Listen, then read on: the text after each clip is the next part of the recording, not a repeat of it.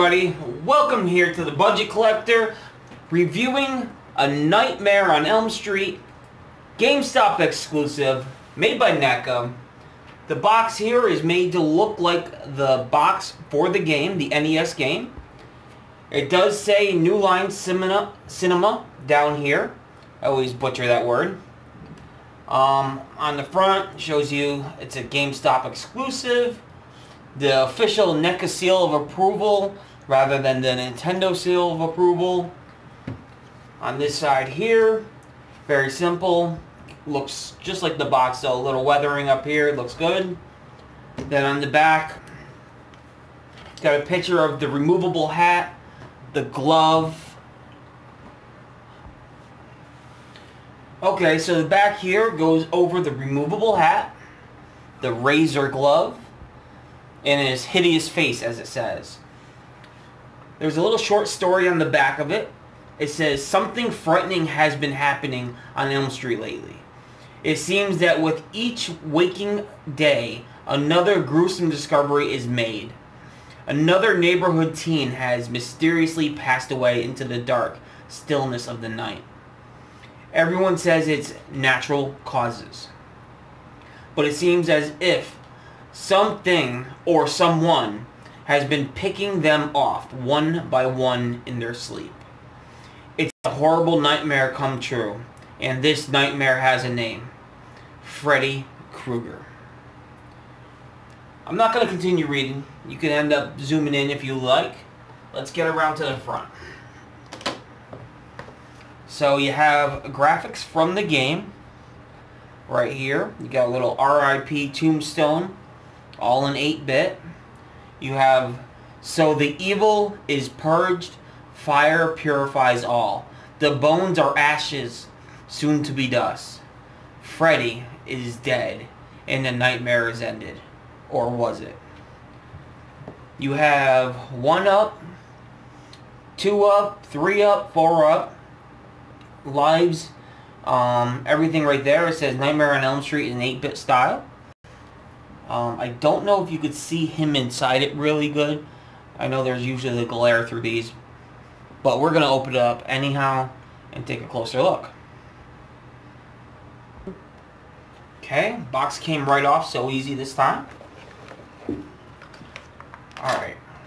You have some graphics on the back of the paperwork here. You got the blue house.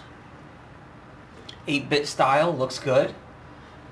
Um, if you were trying to set up some kind of diorama, it would look nice.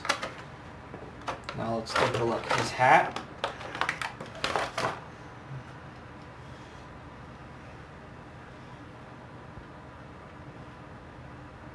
Um, there is a little bit of extra paint on it. Other than that, it does look good to me. I do have the clothed version with the cloth already. Um, we will do that one at a later date.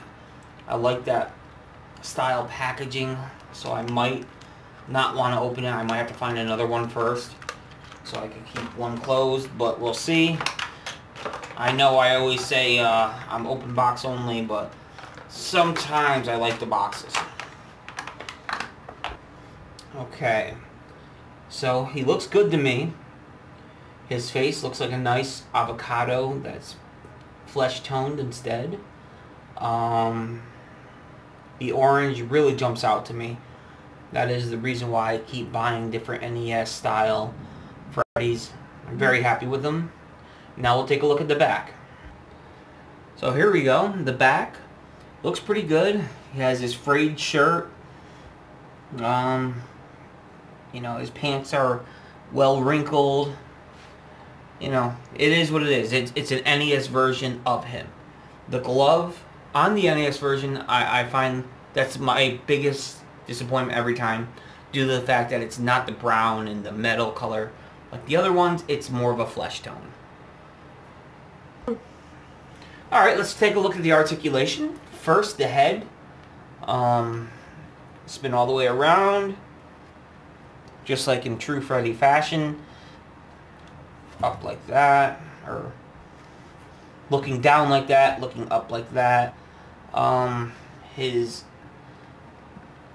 gloved hand, about 90 degrees. Can go all the way around. Now his ungloved hand, same thing. I actually like the detail a lot on the ungloved hand. It really stands out how much work they put in that sculpt.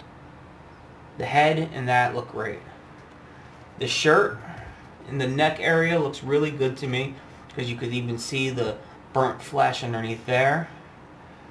Don't know if you could quite see it on camera, but in person it looks great. Legs, really stiff, but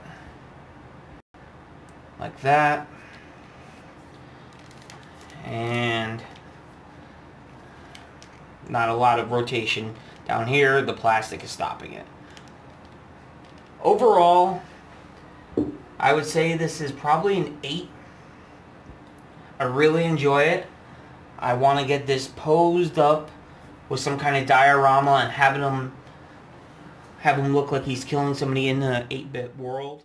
Alright, all in all, love the figure, very happy with it, love the box. Um, I would say if you haven't gotten it yet, really need to get out and get it. So thank you so much for checking out the Budget Collector. Make sure you like, subscribe. Um, you know, we need comments. I, I really need you to share. Notifications got to be on. Make sure that bell's on, please. Um, let me know if you love my videos, please. And if you, you hate my videos, let me know too. Um, I'm thinking about doing a video of all my bloopers. Trust me, I do about 100 takes per scene because I end up saying something funny and I ruin the shot. So if you guys would like to see some of my bloopers, let me know and I'll put a whole blooper reel together. Um, thank you. Peace!